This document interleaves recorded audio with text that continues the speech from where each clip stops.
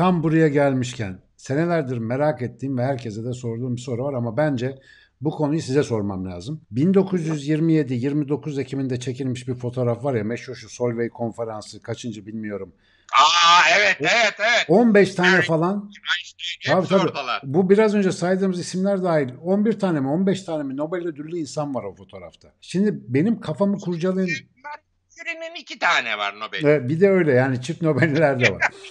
Şimdi kafamı kurcalayan şey şu. Yani 1927 yılında ya da işte ondan önce gelen dönemde bu insanlara ne yedirdiler, ne içirdiler de bu, bu kadar insanı aynı dönemde aynı kareye toplayacak olan şartlar neydi? Siz bunu nasıl yorumluyorsunuz? Yani tuhaf ya, değil mi o fotoğraf? Bunun izahı aslında 19. yüzyılın ortasında yatıyor ve Maxwell'le başlıyor. Şimdi Maxwell eşitliklerine bakarsan bir bakıyorsun ışığın hızı sabit. Ama hocam yani, benim sorduğum şu pardon. Sosyal şartları merak ediyorum. Yani şimdi düşünün. Abiciğim, yani na, nasıl yetişti bu adam? Soruya. Şimdi ışığın hızı sabit. Tamam mı? Maxwell eşitliklerine göre.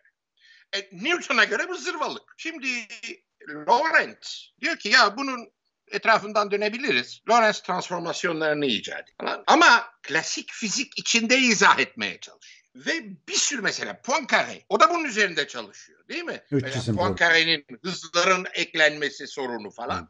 O da bunun üzerinde. Bir sürü adam bunun üzerinde çalışıyor. Yani bu arada mesela Rutherford atomun yapısına bakıyor herif. Diyor ki ya bomboş la bu içinde hiçbir şey yok diyor. bir küçücük çekirdek ve boşluk gerisi diyor. Şimdi bu onu ondan sonra Niels Bohr spektrumdaki çizgileri izah edebilmek için Diyor ki ya biz e, bunu bir güneş sistemi gibi düşünsek elektronları. İşte bu elektronlar ancak bir yörüngeden diğerine belli bir enerjiye sahip oldukları zaman sıçrayabilirler falan. Bu bir varsayım. Yani öyle olduğu belli değil. Tamamen varsayım işte gözlemlere uyuyor. Ama sadece hidrojen atomuna uyuyor ha. Ötekilere uymuyor. Sırf onun için adam Nobel aldı. Onun üzerine Duc de Broglie, herif Duc. Ya biliyorsun asil bir aile çocuğu. O doktorasında Diyor ki ya çok enteresan. Şimdi e, Niels Bohr enerjiden bahsediyor. Einstein'ın bir enerji eşitliği var. Max Planck'ın da var. Şu ikisini bir, bir araya koyayım. Herif bir bakıyor maddenin dalga boyu diye bir şey var çıkıyor ortaya. De Broglie dalgası evet. Aa De Broglie değil mi? De Broglie şeyi ve ona De Broglie bakıyor o dalga Niels Bohr'un şeyine karşılık geliyor. Yörüngesine karşılık. Ana şimdi anlaşıldı. Niye bunun böyle oldu? Daha sonra onun da yanlış olduğu görülüyor. Çünkü mesela bir yörüngede iki elektron olabiliyor şeylerine göre falan. Fakat bu sorunları bir sürü insan çalışıyor. Ve Birinci Dünya Savaşı'ndan önce mesela Einstein'ın sık sık vurguladığı muazzam bir serbestliği var. Herkes her tarafa gidebiliyor. Pasport yok, hiçbir şey yok. Birbirlerini ziyaret ediyorlar, bilmem ne yapıyorlar falan. Mesela Einstein gidiyor, Belçika'da arkadaşlarıyla konuşuyor. Akşam saraya gidiyor, kraliçeyle beraber keman çalıyorlar.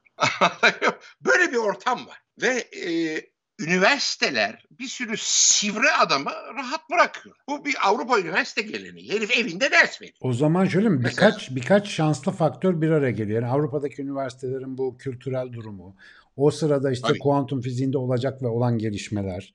Bir de galiba savaş zamanının getirdiği bir ekstra bir psikoloji de Yok, var. Yok oraya gitme. Savaş zamanına gitme yani. Savaş çok kötü etki etmiş. Öyle mi? Yani Einstein hep bunu vurgular. Savaş diyor o güzel havayı dağıt. Birinci Dünya Savaşı'ndan sonra Almanlar belirli toplantılara alınmıyorlar, gidilmiyor. O çok kötü bir dönem. Çok çok kötü bir dönem. Hmm. Ama buna rağmen Buna... Bilim yapan adamlar birbirleriyle hep temastalar. Yani ben hep şunu vurgulamışım. Bilimin gelişmesini anlamak istiyorsan sosyal şartların hiçbir katkısı yok. Sıfır. Nasıl yok? Bu iş bu adamların kafalarında oluyor. E ama hocam Mesela, şimdi Celal Şengör böyle bir ailede doğmasa, bu imkanları olmasa, işte Baha e, amcası olmasa, yani böyle bir mikro çevreye maruz kalmasa biraz bunun da etkisi yok mu? Yani Hani bizim okula gittiğimizde en dahi çocuğu bile bıktırıyorlar. Ramanucan'ı yani. düşün abi Ramanucan'ı düşün. Madras'ın gece kondularında herif büyüyor. Yaptıkları tesadüfen Hardy'nin eline gidiyor. Herifler şoke oluyorlar. Aman hemen Cambridge'e buyur diyorlar. Ama Ve istisnai değil mi ya? Ya bunlar ha? biraz istisnai değil mi? Değil abi. Bak, bak. Georges Cuvier müthiş 19. E, yüzyılın mukayeseli anatomi ki onu sizler daha iyi biliyorsunuz doktorlar mukayeseli anatomiyi kuran adam. E bu fakir bir aile. Tesadüfen bakıyorlar ulan bu çok yetenekli bir oğlan. O zaman Montbéliard şeye ait. Württemberg dükalığına ait. Fransa'ya ait değil. Falan diyorlar Düke efendim diyorlar böyle böyle bir adam var. Aman diyor hemen burs verelim. Karlsruhe'ye alalım. Çocuğu hop alıyorlar oraya koyuyorlar. Yani mühim olan bilimde ilerlemeyi sağlayan problemler. O problemlerin de sosyal sorunlarla hiçbir ilgisi yok. Evet.